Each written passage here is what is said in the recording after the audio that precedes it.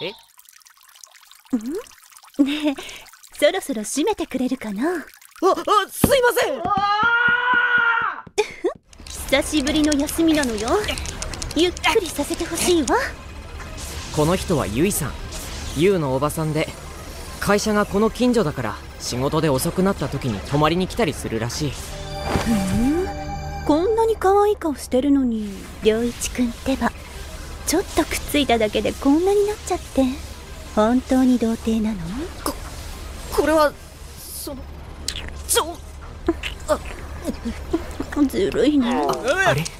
気づいてほらほら。前見てゲーム頑張らないと。ユウが気づいちゃう。あーくそ悔しいな。こんなこともしゆうに気づかれたら。よし次何やろっかひょっとして罪悪感感じてる？まったく。そよかった。